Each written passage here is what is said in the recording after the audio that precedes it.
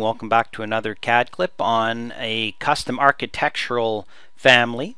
And inside of uh, here we can see in our um, project browser under columns, architectural, not structural, I have some different versions of a architectural column and there's type parameters for width and depth um, that we can control and we can also control the material of the column, the material of the sweep itself, okay, and then we can control the um, dimensions and height location of this reveal to move up and down as we please. We can also control the radius of the actual sweep object. So we've got materials, we've got height and width or width and depth of the column, we've got location vertically of the sweep or the reveal, and then the dimensions of the reveal and the sweep. And I just thought I would um, give you a quick demonstration of placing one and then opening up and having a look at that family. Um, let's go in and let's um, place one. Let's place a 3 by 2 inside of here. Okay, and because they're instance parameters, the um, materials and heights are not changed, only the actual width and depth of that. So let's just click on this guy and let's go into the um, properties of it and inside of there from within the project I can say edit and I can say duplicate and I can do whatever I want but I'm going to make a 4 foot by 4 foot. So those are the type parameters which means I need to change this to be 4 feet by 4 feet and then hit OK okay and then hit OK and that'll give me the 4 foot by 4 foot dimension I want okay? Now from there I can change some instance properties by going into here and down inside of here I've got the radius of that um, sweep and I can change that to be you know 8 inches. I've got the um, reveal height okay? This guy down here the height of where that is um, let's set that to be um, 8 feet. And then the dimensions of the reveal itself let's go 6 inches by 2 inches okay? Meaning the width of it and the height of it and then the and then the height location of the uh, sweep let's knock it down to be six feet. We're also going to change the materials of the sweep by clicking on here going into there and saying you know let's make the sweep uh, precast concrete sure okay? And let's make the column itself to be cast in place concrete but you can make whatever material you want doesn't really matter.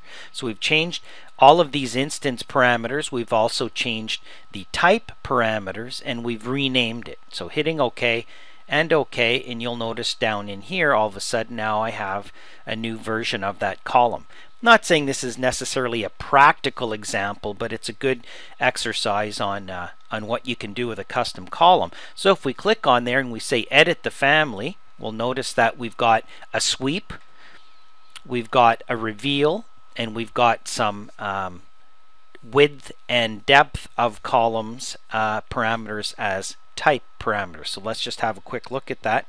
From inside of here, if I go to a 3D view, Okay, there's my column. If I go into my type properties, you'll notice that I have a width of the uh, column, the depth, and these are, if you modify, you'll see these are type properties, type parameters, these two guys. And then we have the round sweep um, and the round sweep height, radius, height, and then three parameters that are controlling the reveal itself. So if we hit cancel on here and we click on this sweep and we say edit the sweep okay we'll notice that there's a little profile over there. If I go down to my views and let's go to the uh, say I believe it's the left hand side okay you'll see that there is the edge of my sweep path and there is my sweep profile. I can click on this profile if I want and say edit the profile okay it's being driven by these two um, reference planes which are being controlled by this parameter. Okay? And also if I go to the front view you'll notice that the actual reference plane here that's controlling the bottom of that sweep path is controlled by this parameter round sweep height. Okay? I'm just going to cancel out of that.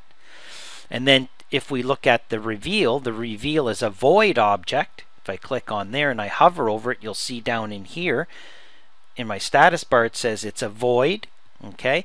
Vertically it's being controlled by the height like this. And if I was to go and, and select that and then go in and say you know edit the sweep and then let's go to the left hand side of that again okay? There's the actual sweep profile. If I click on there and I say edit the profile you'll see that it's being controlled by this reference plane and there's also another vertical reference plane down inside of here which is constraining that. So reveal dimension width reveal dimension height are those two properties. And then if I go to my front view you'll notice that the actual location of it is being controlled by here. So there's a little inside look at that architectural column. And the last uh, parameter that we have is the materials okay? So if we cancel and I and I click on the column itself the um, piece of um, extrusion and I go to the instance properties of that column you'll see that where it says material I went over and assigned that to the parameter column material okay? Likewise if I click on the sweep piece of geometry after the fact and go to the instance properties of that, you'll see that the material of that sweep is set to be the parameter sweep material over here. And then you put it all together and then you load it into your project and then you uh, manage it from inside of there and then you simply go in and take one place it in the drawing duplicate it give it a new name and start to add uh, or change those instance anti parameters.